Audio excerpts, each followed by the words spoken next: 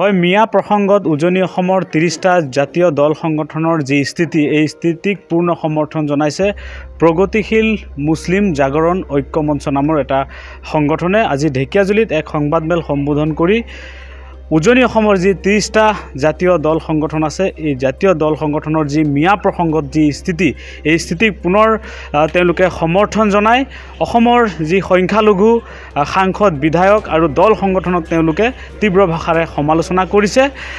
আৰু আমাৰ সৈতে আছে এই মুছলিম যি প্ৰগতিশীল জাগৰণ ঐক্য মঞ্চৰ যিসকল বিষয়ববীয়া তেওঁলোকৰ সৈতে আমি কথা পাতিম।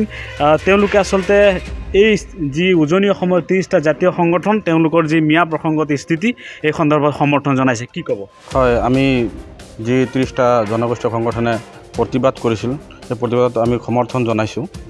সমৰ্থন জনোৱাৰ কাৰণো আছে তেওঁলোকে যি যিসকল মিয়াৰ মানে বিৰোধ কৰিছিল বা তেওঁলোকক তাৰ পৰা মানে উঠি যাব কৈছিল সেইসকল মিয়া কোন?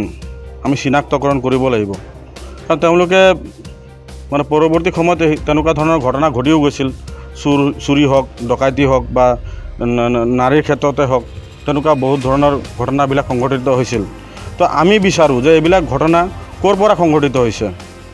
কিবিলাক আমাৰ কিবা আমাৰ সমাজ ব্যৱস্থাটো কি কমজোৰ হৈ আছে নেকি? আমাৰ যোনটো মানে ক'ব গ'লে ইছলামিক আমি মুছলিম মানুহ আমি সেই মুছলিমটো আমাৰ যি ধৰ্মীয় ৰীতি নীতি সেইটো আমি ফ'ল' কৰি আছোঁ নে নাই? সেই ক্ষেত্ৰত চাগে আমি অলপ পিছুৱাই আছোঁ।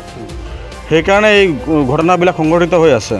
তো গতিকে মাওৰাৰীৰ নিচিনা এটা য'ৰ মানে আপোনাৰ ৰেচিঅ' একদম কম তেওঁলোকৰ ক্ৰাইম ৰেচিঅ' একদম কম তেনেহ'লে তেওঁলোকে গৈ পেলাই আজিৰ দিনত তেওঁলোকে শৰাই লৈ পেলাই আপোনাৰ গামোচা লৈ পেলাই আঁঠুকাৰি ক্ষমা বিচাৰিছে।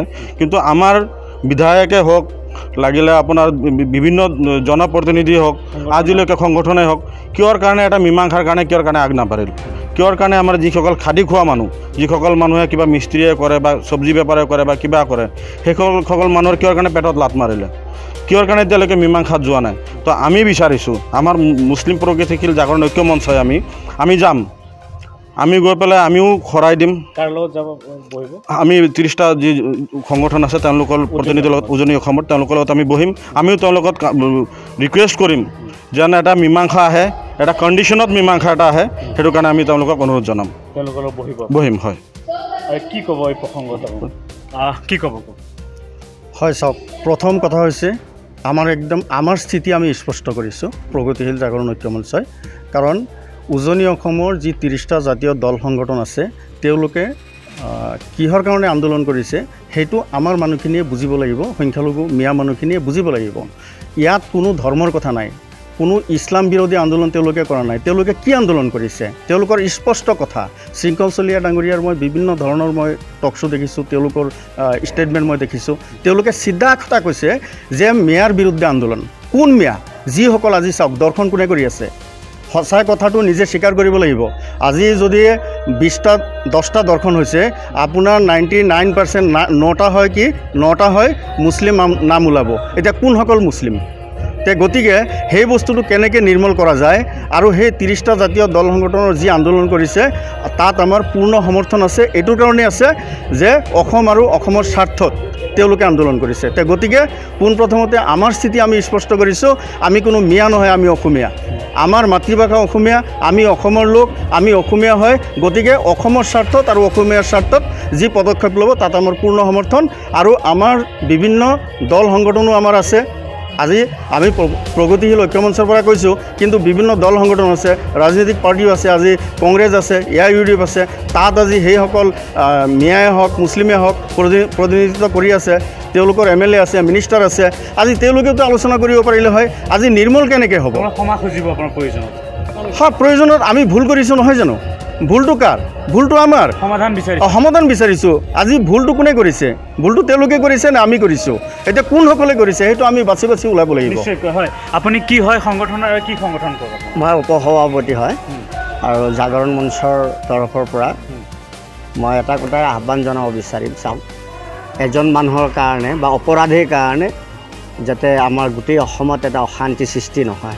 এতিয়া চাওক সাধাৰণ খাটি খোৱা মানুহ যিবিলাক খাটি খোৱা মানুহ আজি সাধাৰণতে শ্ৰমিকেই হওক বা ব্যৱসায় কৰা মানুহ। আজি সেই দুখীয়া দৰিদ্ৰসকলৰ কাৰণে আমি কাৰোবাৰ ওচৰত ক্ষমা খোজাটো ডাঙৰ কথা নহয়। যদি আজি আমি ক্ষমা খুজিলে এই দুখীয়া দৰিদ্ৰজনৰ উপকাৰ হয় খাটি খোৱা মানুহৰ উপকাৰ হয় তেতিয়াহ'লে এটা আমি আমাৰ নিচিনা এটা ক্ষুদ্ৰ মানুহে গৈ পেলাই ক্ষমা খোজাটো ডাঙৰ কথা নহয়। আমাৰ অসমখনৰ উন্নতিৰ কথা চিন্তা কৰিব লাগিব। অসমৰ শান্তিৰ এটা পৰিৱেশৰ কথা চিন্তা কৰিব লাগিব। সকলো জাতি জনগোষ্ঠীয়ে যাতে একত্ৰিতভাৱে আমি আগুৱাই যাব পাৰোঁ মিলা প্ৰীতিৰে চলিব পাৰোঁ। সেই কথাবিলাক আগত ৰাখিয়ে আমি এই সিদ্ধান্তটো লৈছোঁ। যে আমি উজনি অসমত যাম প্ৰয়োজন হ'লে। আমি ইতিমধ্যে আমাৰ সভাপতি চাহাবে সেই কথাটো আপোনালোকক জনাব কেতিয়া যাব। গতিকে আমি উজনি অসমত গৈ পেলাই আমি এটা কাৰ্যসূচী ল'ম আৰু সেই কাৰ্যসূচীৰ জৰিয়তে যাতে আমাৰ অসমখনত এটা শান্তিৰ বাৰ্তা আহে। আৰু সকলোৱে যাতে আমি সমাধান হয় আৰু সকলোৱে যাতে আমি মিলা প্ৰীতিৰে আগুৱাই যাব পাৰোঁ। নিশ্চয়কৈ মিয়া প্ৰসংগক লৈ এতিয়াও অসমৰ যি ৰাজনৈতিক পৰিৱেশ সেই পৰিৱেশ উত্তাল হৈ থকাৰ সময়তে মুছলিম প্ৰগতিশীল জাগৰণ ঐক্য মঞ্চ নামৰ এটা সংগঠনে এই সিদ্ধান্ত লৈছে যে উজনি অসমৰ যি ত্ৰিছটা জাতীয় দল সংগঠন আছে এই সংগঠনৰ সৈতে তেওঁলোকে আলোচনা কৰিব আৰু মিয়া প্ৰসংগত তেওঁলোকে যি স্থিতি লৈছে এই স্থিতি সন্দৰ্ভত তেওঁলোকে এই ত্ৰিছটা সংগঠনৰ সৈতে আলোচনা কৰি বিষয়টো সমাধানৰ এক পথ উলিয়াব বুলি তেওঁলোকে প্ৰকাশ কৰিছে। আপুনি বিচৰা বাতৰি পাব কেৱল নিউজ এইটিন এপত। নিউজ এইটিন এপ ডাউনলোড কৰিবলৈ স্কেন কৰক এই Q R code Google play ষ্টৰতো পাব এই নিউজ এইটিন এপ